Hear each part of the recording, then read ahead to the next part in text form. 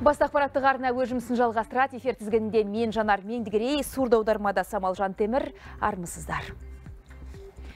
Президент 17 жазғы паралимпиада жүлдегерлері мен бапкерлерін мемлекеттік наградалармен марапаттау туралы жарлыққа қол қойды. Жарыста алтын медальға қол жеткізген атлеттер бірінші және үшінші дәрежелі барыс орденімен марапатталды. Күміс медаль егерлері парасат орденінің кавалерлері атанды. Паралимпиада ойындарының қола жүлдегерлері құрмет орденімен марапатталды. Оған қоса жаттықтырушылардың бесеуі парасат орденіне, жетеуі құрмет орденіне ие болды. Екі азамат мемлекет басшысының құрмет грамотасымен наградталды. Мемлекет басшысы биылғы халыққа жолдауында денсаулық сақтау саласына бірқатар міндеттер жүктеді. Әсіресе цифрландыруға ерекше мән берді. Биылғы жылдың соңына дейін міндетті медициналық сақтандыру қорын цифрландыруды аяқтап, келер жылдың аяғына дейін бірыңғай ұлттық ақпараттық жүйені енгізу жоспарланып отыр. Бұл туралы премьер-министрдің орынбасары Тамара Дүйсенова Түркістан облысына жасаған жұмыс сапары барысында мәлімдеді. Елде дәрілік заттарды таңбалау және қадағалау жүйесі енгізілді. Енді дәрі дәрмектің елге әкелінген немесе өндірілген кезінен бастап тұтынушыға жеткенге дейін толықтай бақылауда болады. Дәрі дәрмек сақтайтын қоймаларда назардан тыс қалмайды. Өңірге сапары кезінде Тамара Дүйсенова Түркістандағы сондай қоймалардың бірінде болып жұмысымен танысты. Жаңа жүйе енгізілгелі бері мұнда отандық дәрі дәрмектің 13 түрі бойынша 10 мыңнан астам қаптама қабылданған. енді бұларға келіп тұрса мынаны қазір бұлар өздеріне не жасау керек иә мынау исмет деген бүкіл Иә, қазақстандық берді. портал бар. Келген тауарлардың барлығы осының ішінде акт прием передачамен сканер жасап қабылдаймыз. Қазір ізі жоқ қой. Кім беріп қайда кетіп қалған ізі жоқ. Соның енді ізін бәрі қа- қарап тұр и потом мынаның списаниясы толық көрінеді. Кому это давали и потом мынаны жаңағы например мен барып жатқан болсам маған берген болатын болса ко мне уже приходит сіз жаңағы физиотет салғансыз ба или мрт-дан өттіңіз ба деп. Содан кейін ол жауап беруім керек алдым алмадым деп. Мемлекет басшысының тапсырмасы бойынша елімізде ауылда денсаулық сақтауды жаңғырту ұлттық жобасы жүзеге асуда. Соның нәтижесінде Түркістан облысында 49 алғашқы медициналық санитарлық көмек көрсету нысандарының құрылысы жүріп жатыр. Сапар аясында вице-премьер Қазығұрт аудандағы Махамбет елді мекенінде жақында пайдалануға берілетін дәрігерлік амбулаторияны аралап көріп, тұрғындармен жүздесті. жүкті әйелдерді қыздарды қарайтын бөлмелерді қарадық Ә, жаңағы сондай врачтар беріледі мұнда деп кейін жаңағы не анализ алатын осы жерден иә сол ең иә, керек сол ғой сіздерге. Сондықтан осының бәрін қазір оборудованиесін мына кімнің гүлсімдегі барын алып келеді жетпегенін бәрін қосып береміз. Енді иә мемлекет тарапынан осындай объектілер құрылып жатыр Одан кейін Тамара Дүйсенова Қазығұрт аудандық ауруханасының жұмысымен танысты. Ауруханада былтырдан бері оңалту орталығы жұмыс істейді. Мұнда бір жылда 400-ден астам науқас тегін ем қабылдаған. жерде. дұрыс па жақсы бәрі медициналық көмекке Жақсы бәрі. иә ауданымыз да ашылып қуанып жатырық қой Тамара Дүйсенованың төрағалығымен өңірдегі денсаулық сақтау саласын дамыту бойынша өткен кеңесте медициналық ұйымдар жұмысының тиімділігін арттыру, міндетті сақтандыру жүйесінен шет қалғандармен белсенді жұмыс жүргізу жайы талқыланды. Сондай-ақ президент өз жолдауында медициналық көмектің бірыңғай пакетін құруды тапсырды. Ол кепілдендірілген базалық және сақтандыру бөліктерінен тұрмақ. Бұған қатысты тиісті заң әзірленуде. Сол көмектің сапасын арттыруда білікті мамандарға жүктелер міндет те жоғары. Алайда Түркістан өңірінде кадр тапшылығы байқалады. заңды қабылдадық қажетті осы биыл сол президенттің тапсырмасы бойынша қазір жергілікті атқарушы органдар биылдан бастап қосымша сол жаңа мамандарды тарту үшін оны тұратын тұрғын жерлермен қамтамасыз үшін қосымша ақша бөліп сол мәселелерді шешіп жатыр Шынын айту керек, ауыл аманаты жобасы Түркістан облысында өзінің экономикалық және әлеуметтік тиімділігін көрсете бастады. Ауыл тұрғындары өз кәсібін ашып, дамытуды қолға алды. Сауран ауданы Оранғай ауылының тұрғыны Бабыр Насиров мемлекеттен 5 миллион теңге жеңілдетілген несие алып, үйінен дәнекерлеу және жиһаз шеберханасын ашқан. 12 адамды жұмыспен қамтып отыр. қазіргі кафелерге частный тамдарға таптырмайтын зат мынау осы жұмыспен айналысып жатырмын қазір айына бір елу алпысын шығарамын мынау заказға қарай ғой сол заказға қарай аламын сол қарай істейміз болды алда мақсатым құда қаласа расширение болып мынаны өткізсем деген мақсаттан істеп жатырмын мынаны Ауылдың тағы бір тұрғыны Бахадыр Исраилов жеңілдетілген несиеге мал бордақылау алаңын ашты. Қазір оннан аса бұқаны семіртіп байлап отыр. Өзі кооперативке мүше. шөбін қайдан алып жатсыз шөп өзіміздің кооператив бар ғой өзіміздің Кооператив кооператив бар көмектесеміз полный мүшелерге көмектеседі бірге дайындаймыз осы техника жоңышқа кіріс керек сатып алады ғой сіздерден бұлар сонда сатып алады бірақ арзандатып береміз ауыл аманаты бағдарламасына қатысушылар бүгін қазығұрт ауданы айнатас ауылында бас қосты мұнда ауыл тұрғындары өз өнімдерін көрмеге шығарып вице премьерге таныстырды. Арасында қоршаған ортаны пластик бөтелкелерден тазартатын жобалар да бар. Мына қазанда біздің су ішіп жүрген пластиктарымызбен үсіп жасап жатсыңдар иә осыны жасаймыз. Бұдан қайтадан пакет шығарады. Ал мынау болса жылыжайлардан шыққан отход пленка капельный Иә, иә, шлактарды қайта өңдеп осында шикізат шығарып одан труба шығарып жатырмыз ал төле билік өміртай ешенқұлов қураған ағаштан кәуіп пісіретін көмір брикеттерін шығарып жатыр. Жеке кәсіпкер ауыл аманаты бағдарламасымен сегіз жарым миллион теңге несие алып шағын цех ашқан енді кәсібін ұлғайтпақ ниетте. Айтуынша экологиялық таза тауарға тапсырыс та одан келер табыс та көп дейді. Төле би ауданы бойынша қураған ағаштың жалпы көлемін есептесек мен екі жылда он пайызын бітірген жоқпын ғой әлі. Очередьта тұрған менің ағашымды ауламды тазалап беріп очередьта тұрғандар өте көп. Ә, күніне 500 пакет шығарамыз мына үш килодан. Ә, айында ә, 15 мың ә, сезонында. 15 мың 20 мыңға дейін. Көрмеге қатысушылар өнімді өңдеуге баса назар аударғаны байқалады. Түрлі бағыттағы кәсіп иелерінің табиғи таза өніміне сұраныс та жоғары. Бірі жартылай фабрикат екіншісі ұлттық киімдер мен ат әбзелдерін шығарады. Арасында түйе құс өсіріп жұмыртқасын сата бастағандар да бар. Жалпы елде осы ауыл аманатының арасында үлкен серпіліс бар екенін көріп тұрмын бүгін азаматтардың бірі мал алып оны жаңағы халыққа жеткізіп жатқан болса екіншісі наубайшылықпен үшіншісі жаңағы кіші кәсіпорындарды ашып жатыр. әсіресе бүгін маған қазығұрттағы мына диқандардың арасындағы өте ұнаған пластиктан шыққан өнімдерді қайта өңдеп қайтадан іске қосу мәселесі бұл өте жақсы. Мен ойлаймын бұл таза қазақстан а, жаңағы бағдарламасы аясындағы жақсы бір қазақстанның проектісі болады деп. Өткен жылы өңірде ауыл аманаты бағдарламасын жүзеге асыруға республикалық бюджеттен 19-да 8 миллиард теңге бөлінді. Оған 3256 жоба қаржыландырылды. Нәтижесінде 3413 адам тұрақты жұмыспен қамтылды. Биыл бағдарламаға қатысуға ниет білдіргендер үшін өтінішті электронды түрде қабылдау жүйесі іске қосылды. Мемлекет басшысы халыққа биылғы жолдауында тауарлы кредит механизмін кеңінен іске асыру қажеттігіне мән берді. Вице премьер тамара дүйсенова әкімдерді осы құралдарды тиімді пайдалануға шақырды. Жандос жұмабек ерболат әбіш қуаныш әбуов 24 кз түркістан облысы. Жалғастырайық атом электр станциясын салуды қолдау жөніндегі халықтық штаб өкілдері Аманат партиясы әйелдер қанатының белсенділерімен кездесті. Алматыда Қазақстанның түкпір-түкпірінен жиналған 200-ден астам белсенді атом энергетикасының маңыздылығын талқылады. Халықтық штаб мүшелері бейбіт атом жұмысының тиісті тұстарына тоқталып, жиынға қатысушылардың сұрақтарына жауап берді.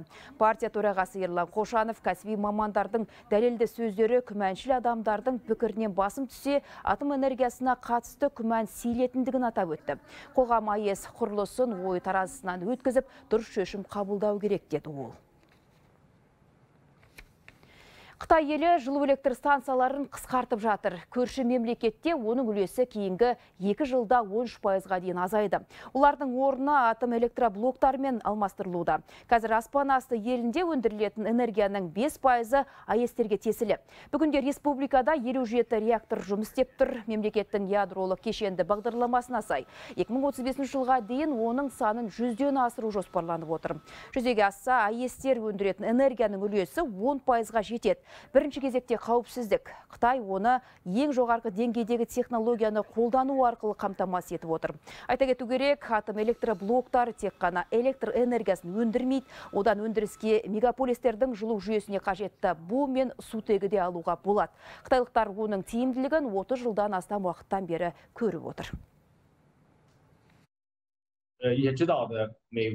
кез келген электр станциясының өнімділігі оның жұмыс істеу сағатына байланысты. Мәселен қуаты 100 мегаваттық күн электр станциясына лайық. Қуаты 100 мегаватт болғанмен ол тәулік бойы үздіксіз энергия өндіре алмайды түнгі уақытта күннің көзі қайтқанда өнімділігі төмендейді. Жел электр станциясы да дәл солай. Жел болса энергия бар генератор айналмаса ол да жоқ. Ал аэс-тің бір артықшылығы осында. Реактордың қуаты жоғары. Жылдар бойы күндіз түні үздіксіз тұрақты энергия өндіреді. Тек профилактикалық және қауіпсіздік мақсатында. Бір жарым жылда бір технологиялық тексеріспен отынын ауыстырып отырса болғаны.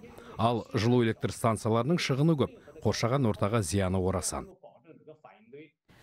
Альпі тауларының ең ірі мұздығы Мармалада 2040 жылға таман жойылып кетуі мүмкін. Ол Италияның солтүстігінде орналасқан. Жергілікті ғалымдардың есептеуінше кейінгі 5 жылда мұздықтың ауданы 70 гектарға кішірейген. Бұл 100 футбол алаңымен парапар.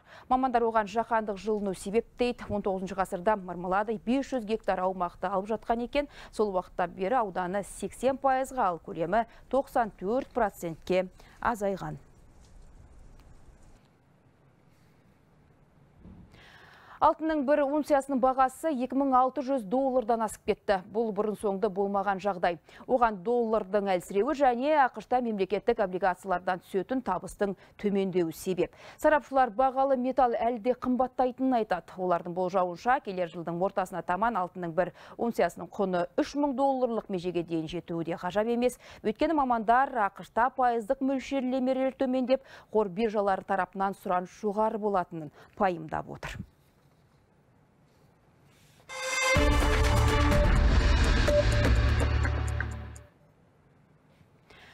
Елордадағы Астана арена алаңында қазақтың өнерпаз баласы Димаш Құдайберген жеке концертін беріп жатыр. Миллиондаған жүректерді жаулаған әртістің кешіне әлемнің 80-нен аса елінен көрермен жиналған. Іс шараның басқасында біздің түсірілім тобымызда жүр. Назерке қайырлы кеш, көңіл күй қалай? Концерт басталды ма, қалай өтіп жатыр?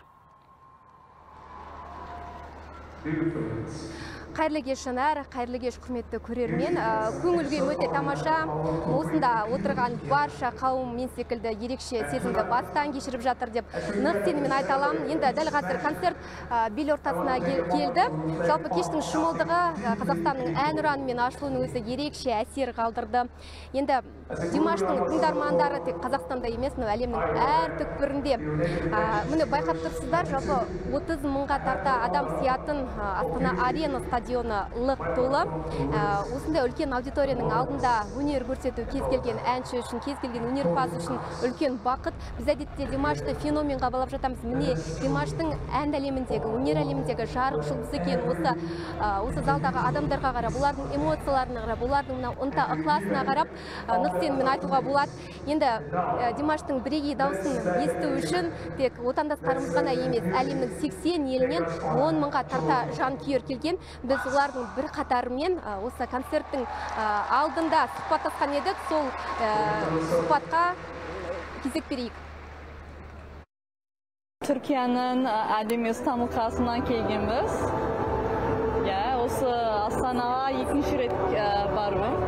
Ең алғашқы рет 2019 жылы сол кезде астананың аты нұр сұлтан болғанда димаштың арнау концерті болды сол концертке бардық енді екінші концертке үшінші осы күні келдік мен 2019-да түркияға қайтқанда қазақ тіліне деген қызығушылығым бастады солай үйрене бастадым димаштың әндері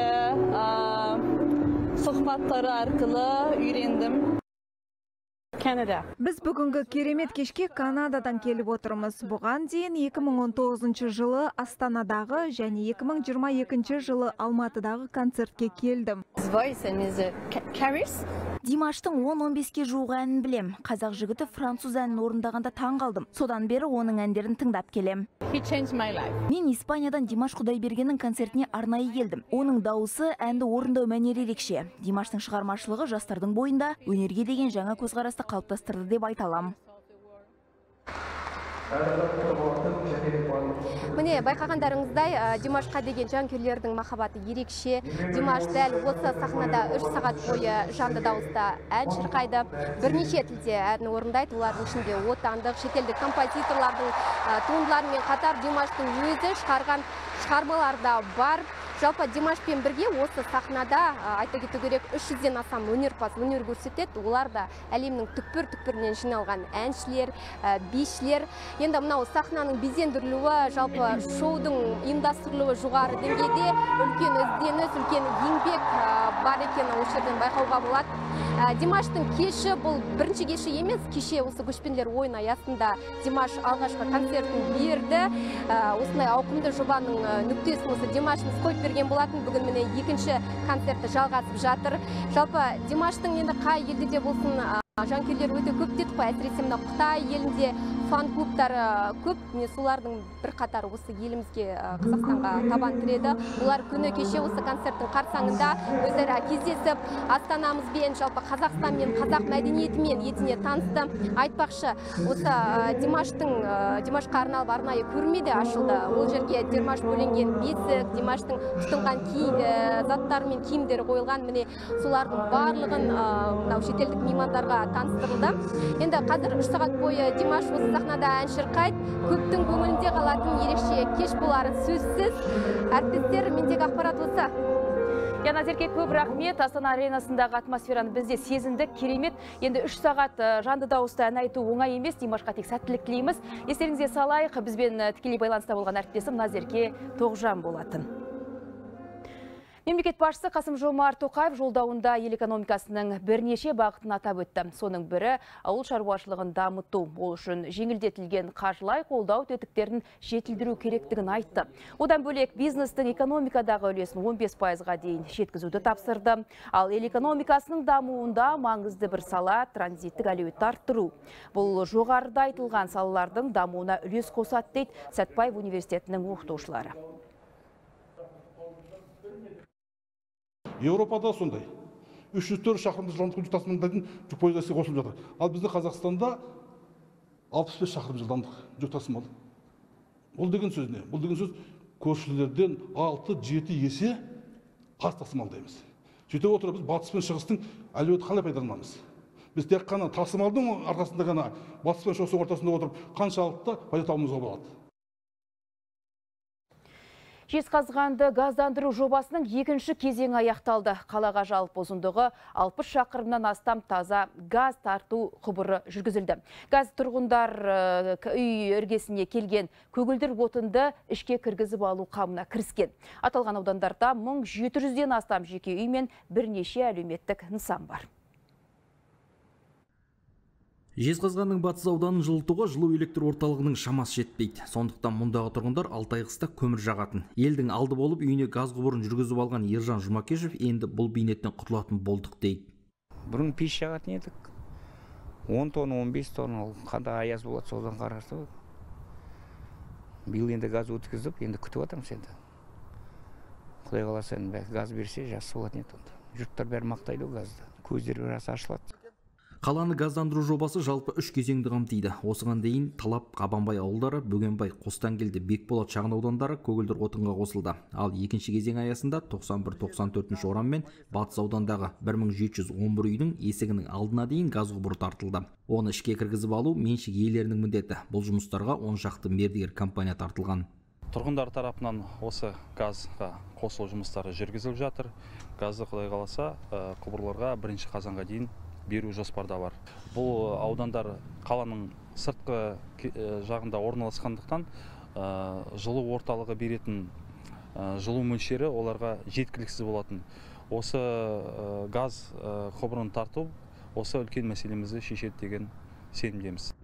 Жобаның үшінші кезеңі келер жылы жүзеге асады. 2026 жылға дейін тек Жезқазған қаласы бойынша 5 мыңнан астам абонент көгілдір отынға қосылады. Одан әрі облыстың өзге аудан ауылдарында жалғасады. 2030 жылға дейін Сәтбаев Қаражал қалалары және Жәйрем кенті мен Жаңарқа ауданы тұрғындары кезең-кезеңімен газбен қамтылатын болады. Елдос Кәкенов, Нұрбол Зүтікбаев, 24 кз Жезқазған. Өскеменде мектептер мен балабақшалардың 92 пайызы, ал тұрғын үйлердің 90 пайызы жылыту маусымына дайын. Жалпы қалада 1753 көп қабатты үй болса, соның 250-не дайындық паспорт әлі берілмеді.